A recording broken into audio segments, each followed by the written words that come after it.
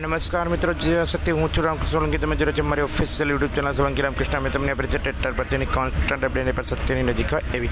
મિત્રો, અત્યારે જે લોકો આતુરતાથી રાહ જોઈ રહેતા એવી સરકારી માધ્યમિકની અને બિન સરકારી અનુદાનિતની માધ્યમિકની જાહેરાત આજે આવી ગઈ છે. સવાર સવારમાં તમને ગુડ ન્યૂઝ હું આપી રહ્યો છું. તો મારી ચેનલ ઉપરથી જો નવા હોય તો તમે ચેનલને સબસ્ક્રાઈબ કરી દેજો અને ચેનલ ઉપર તો આપણે જે નવા ડેપોથી બેસું ને કોક દિવસ વળી એવું લાગે કે શાળા બાર બેઠા ઉપર જો તમે નવા હોવ તો ચેનલને સબસ્ક્રાઈબ કરી દેજો અને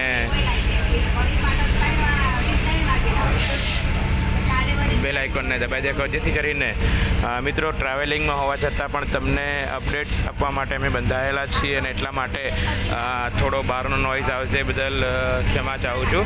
તો અત્યારે જોઈ રહ્યા છે તો કે ગુજરાતની અંદર ગુજરાતની અંદર સરકારી સરકારી માધ્યમિક શાળાઓમાં શિક્ષણ સહાયકની ભરતીની જાહેરાત આજે ન્યૂઝપેપરમાં આવી જાય છે, મિત્રો. તો જે એસ ઇટ ઇઝ જાહેરનામું જે વખતો વખતોના ઠરાવ છે એ અંતર્ગત સરકારશ્રી આજે વધારે જોઈએ તો ગુજરાતીની અંદર ગુજરાતી માધ્યમ, અંગ્રેજી માધ્યમ, આમ જેટલી માધ્યમોની જે સ્કૂલો ચાલુ છે, એમાં તમામની અંદર રાજ્ય સરકારની સરકારી માધ્યમિક શાળાઓની અંદર શિક્ષણ સહાયકની પસંદગી અંગે તમામ જિલ્લા શિક્ષણ અધિકારી કચેરી મારફત મળેલી નીચે મુજબ અંદાજિત ખાલી જગ્યાઓ શિક્ષણ સહાયકની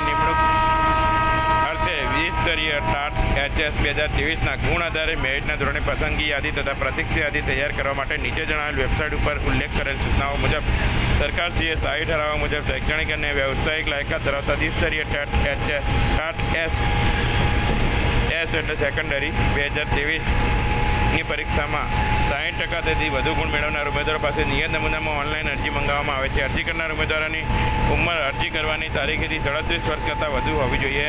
નહીં અનામત વર્ગના ઉમેદવારોની વયમર્યાદા નિયમ અનુસાર છૂટછાટ મળવા પાત્ર રહેશે. અરજી કરવા માટેની સમય મર્યાદા જોઈએ તો નિયત લાયકા ધરાવતા ઉમેદવારોએ માધ્યમિક વિભાગ માટે તારીખ ચોવીસ દસ બે હજાર ચોવીસથી પંદર અગિયાર બે હજાર ચોવીસના રોજ રાત્રિના બાર કલાક સુધી ડબલ્યુ ડબલ્યુ ડોટ જીએસઈઆરસી ઉપર વેબસાઇટ ઉપર મૂકવામાં આવેલ સૂચનાઓનો અભ્યાસ કરી ઓનલાઈન અરજી કરી શકશે. લાયકાત ધરાવતા ઉમેદવારો અરજીની નિયત થયેલી ફી આ વેબસાઇટ ઉપર ઓનલાઈન માધ્યમથી જ ભરી શકશે. અરજી માત્ર ઓનલાઈન માધ્યમથી જ સ્વીકારવામાં આવે છે. ઓનલાઈન અરજી કરતી વખતે ઉમેદવારોએ તમામ વિગતો અરજીપત્રકમાં ભર્યા બાદ અને તેની ખાતરી કરીને નિયત ફી ભરવાની રહેશે. ફી ભર્યા બાદ ઉમેદવારોએ કરેલ અરજી કન્ફર્મ થયેલ ગણાશે. કન્ફર્મ થયેલ અરજીમાં ઉમેદવાર જે કોઈ સુધારો કરવા ઈચ્છે છે, તો કરેલી અરજી વિડ્રો કરી નવી અરજી કરવાની રહેશે. અથવા પુનઃ ફી ભરી અરજી કન્ફર્મ કરવાની રહેશે. નિયત સમય મર્યાદામાં ફી ભરેલ ન હોય તેવા ઉમેદવારોને અરજી સ્વીકારવામાં આવશે નહીં.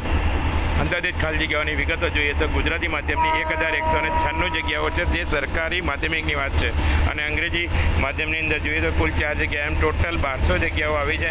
પ્રસ્તુત જાહેરાતમાં નિર્દેશ કરેલ અંદાજિત ખાલી જગ્યાઓના ફેરફાર આધીન છે વર્ગ ઘટાડા તથા અન્ય વહીવટી કારણોસર જગ્યા રદ કરવા રદ થતાં તેની ખાલી જગ્યા પર ઉમેદવારો કોઈ અગાઉ રહેશે નહીં. પસંદગી પામેલ ખરેખર ઉપલબ્ધ ખાલી જગ્યા ઉપર જે ઉમેદવારોએ મેળવેલ ગુણવત્તા ક્રમ અનુસાર શાળા પસંદગી તક ઉપલબ્ધ થશે.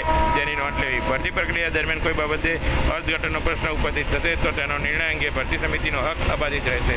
જાહેર સંબંધિત વિગતની જાણકારી સૂચનાઓ માટે જીએસઈઆરસીની વેબસાઇટ ઉપર મૂકવામાં આવશે. તેમજ ભરતીની પ્રક્રિયાની તમામ સૂચનાઓની વિગતો વખતો વખતો વેબસાઇટ ઉપર અપલોડ કરવામાં આવશે. ઉમેદવારોએ નિયમિત રીતે વેબસાઇટ ચકાસવાની, ચકાસણી કરવાની રહેશે. વેબસાઇટ ઉપર મૂકેલ તમામ સૂચનાઓ, વિગતો અવગત ન થનાર ઉમેદવાર ભરતીની કોઈપણ તબક્કે સામેલ ન થઈ શકે તો એ અંગેની ઉમેદવારની અંગત જવાબદારી રહેશે. બાદમાં આ અંગે ઉમેદવારની કોઈ લેખિત કે મૌખિક રજૂઆત ધ્યાને લેવામાં આવશે નહીં. ભરતી સંબંધિત તમામ હક ગુજરાત રાજ્ય માધ્યમિક અને ઉચ્ચતર માધ્યમિક શાળાઓમાં શૈક્ષણિક સ્ટાફની ભરતી માટેની પસંદગીની સમિતિ અનામત રહેશે. અસ્તુ જય હિન્દ. વંદે માત્ર જે શક્તિ મળે છે નવા જ વીડિયો સુધી આવજો. ધન્યવાદ.